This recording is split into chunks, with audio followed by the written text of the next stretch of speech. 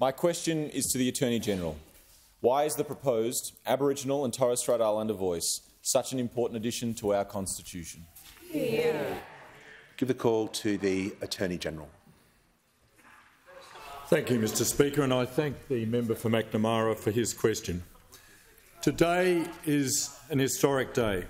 A bill to amend the Constitution has passed the Australian Parliament, and this means that later this year the Australian people will have their say on whether to recognise the First Peoples of Australia through an Aboriginal and Torres Strait Islander voice enshrined in our Constitution.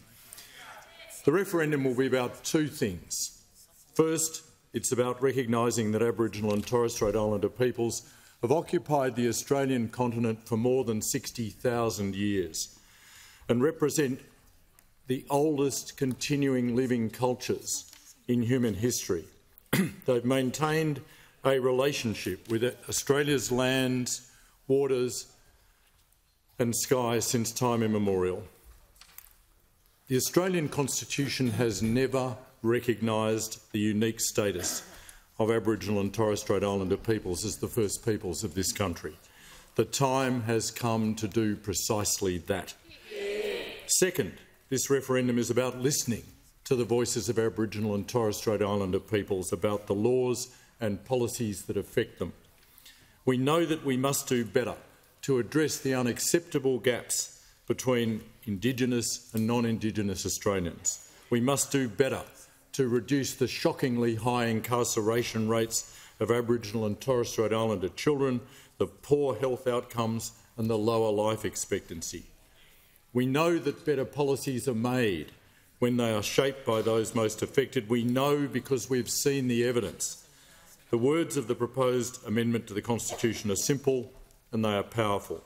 The words of the proposed amendment are the product of a comprehensive process of consultation with Aboriginal and Torres Strait Islander leaders and the best legal minds in the country, including the Solicitor General.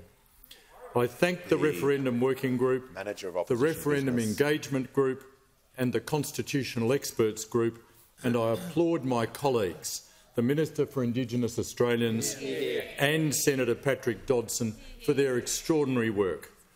The Solicitor-General has stated very clearly that the voice is, quote, not just compatible with the system of representative and responsible government prescribed by the Constitution, but an enhancement of the system. So, the short answer to the member's question is that the proposed Aboriginal and Torres Strait Islander voice is an important addition to the Constitution because it will make our Constitution better. This referendum can be a unifying moment for our country and I believe it will be a unifying moment. It's a unique opportunity to address the injustices of the past and create change that will deliver a better future.